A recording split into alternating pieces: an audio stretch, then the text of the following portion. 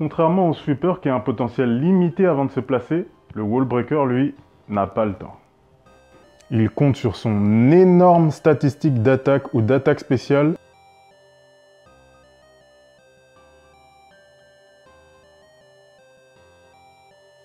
voire dans certains cas d'une attaque extraordinairement puissante de son arsenal, pour briser les murs comme son nom l'indique.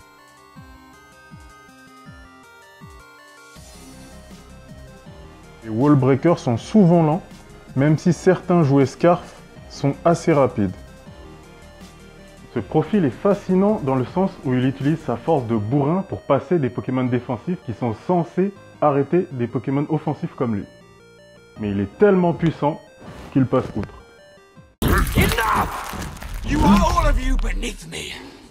I am a god, you dull creature, and I will not be bullied by that.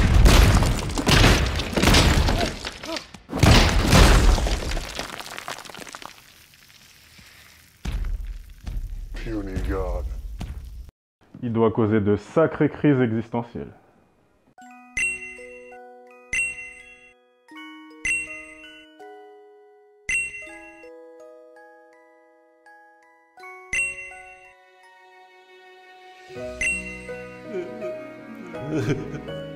Pour ce faire, ils mettront souvent leurs EV max attaque ou attaque spéciale, puis soit max PV pour avoir un minimum de bulk, soit max vitesse si le Pokémon compte quand même sur sa vitesse. Le Wallbreaker a en général au minimum 120 dans l'une de ces deux statistiques offensives.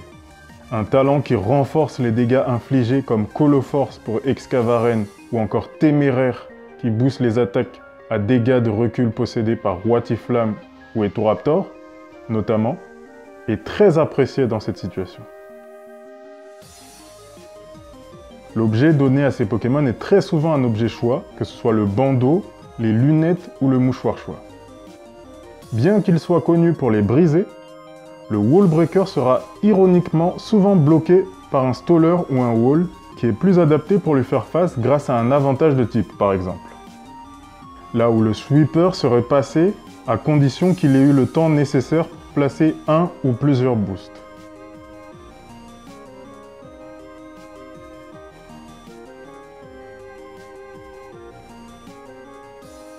A l'inverse, le sweeper risque de tomber KO avant même d'avoir infligé des dégâts dans une situation où l'adversaire effectue un pressing intense et ne lui laisse pas le temps de se placer. Là où le wallbreaker, qui n'a pas besoin de tour de placement, se débrouillerait mieux. C'est à vous de voir en fonction de la situation ou de votre stratégie de quel rôle vous avez besoin.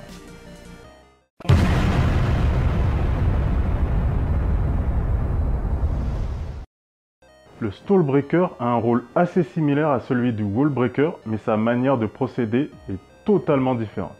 Alors que le Wallbreaker frappe comme un bourrin pour faire le maximum de dégâts, le Stallbreaker, lui, fait plutôt dans la finesse pour détruire les walls et les stallers. Le Stallbreaker existant pour détruire le stall, le rendre inefficace, il faut se pencher sur les caractéristiques de ce dernier pour connaître ses armes. Les stallers ont une grosse résistance, une attaque ou un objet de soin pour augmenter leur staying power, et une ou plusieurs attaques pour déstabiliser les Pokémon adverses, notamment des attaques pour infliger des problèmes de statut ou poser les entry hazards. Pour remplir son rôle, le Stallbreaker va donc empêcher le Staller de remplir le sien avec ses attaques. Il va se protéger des statuts du Staller avec clonage par exemple, va rendre inutile la bonne statistique défensive des stallers soit en lui infligeant un problème de statut, soit en l'infectant avec la vampigraine.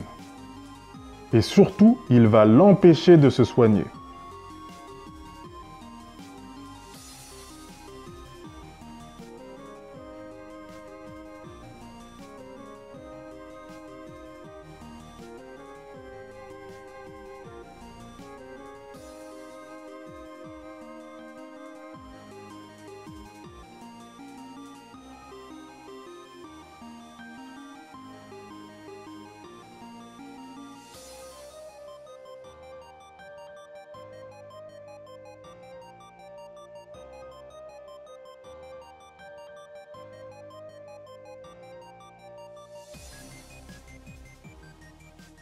Enfin, la carte maîtresse, l'atout ultime du Stallbreaker, j'ai nommé Provoque.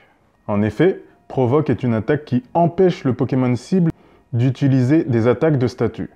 Elle prive donc les stallers de tout ce qui fait leur force, les transformant en ersatz, en une sorte de parodie douteuse de Pokémon offensifs.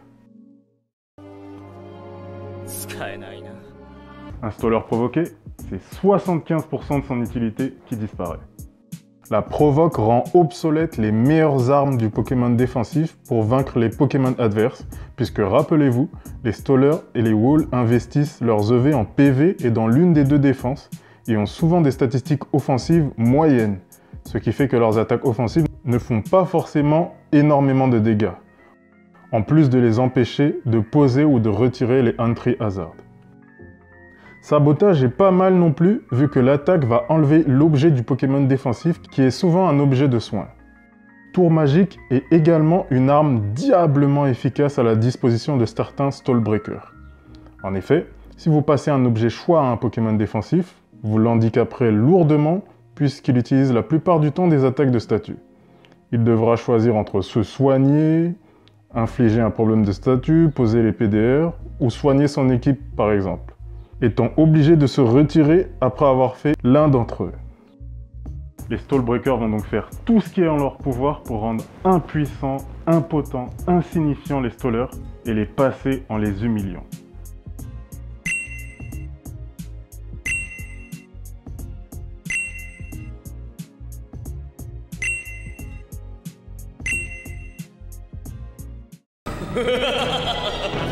Les Stallbreakers peuvent également être utiles pour éviter le placement des sweepers adverses. Ils sont souvent investis en vitesse pour pouvoir faire provoque en premier et ainsi empêcher l'attaque de statut d'être utilisée. Le talent farceur qui rend prioritaire les attaques de statut comme provoque est grandement apprécié par les Pokémon de ce rôle. Empêcher le staller de se soigner, lui retirer de la vie avec un problème de statut ou la vampigraine, ne pas subir de statut de leur part en retour, fait donc partie des caractéristiques d'un bon stallbreaker. On voit donc bien que la façon de procéder est totalement différente de celle du wallbreaker. Le wallbreaker vs le stallbreaker, c'est la force brute face à la finesse. Les deux ont du bon, à vous de savoir faire preuve d'assez de discernement pour savoir déterminer quand il est plus judicieux d'utiliser l'un ou l'autre.